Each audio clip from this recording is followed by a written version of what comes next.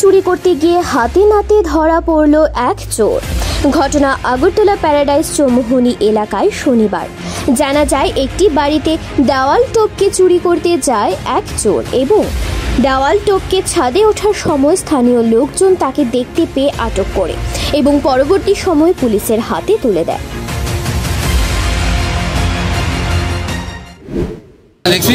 লোকটা তারা বাড়ির মধ্যে ঢুকছে ভিতরে ঢুকছে। ঢুকে সেটা মানে চুরি করার উদ্দেশ্যে ঢুকছে বাড়ির মালিকের না সেটা তারপরে উপরে উঠছে ডিলেশনের উপরে। জায়গার লোকটা দেখছে ওটা ধুম করে নেমে ধরতে নেমে গেছে। নেমে গেছে এই জায়গা থাকছে সবাই মিলে আমরা ধরছি আর গাইতে তারপরে তো আপনারা আইলেন পুলিশের খবর- দেবেন কি এরকম আগে কোনো সময় দেখছেন না এরা তো দেখছি না। আজকে আজকে প্রথম দেখছি। আমি খোপনে করে বইয়ের বইটি করে তখন দেখতেছি লামটা আছে। উঠতে দেখছি না আছে। আমি এরপরে খোকনের দিকে গেলাম। কি ও দে- দেওয়াছেন কিটা এরপরে ওই লোকটা লামটা আছে। কে রে কে কে করতে করতে এখানে আসছে? এরপরে আছে। কি নেওয়ার উদ্দেশ্যে আসলে? মানে কি নেওয়ার উদ্দেশ্যে? কি নেওয়ার উদ্দেশ্যে তো পারতাম না। মানে দেখছি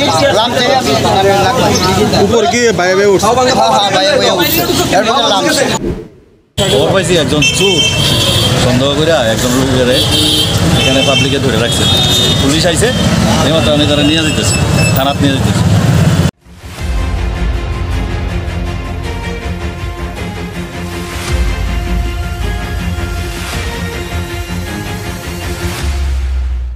ব্যুরো রিপোর্ট ভয়েস এইটিন।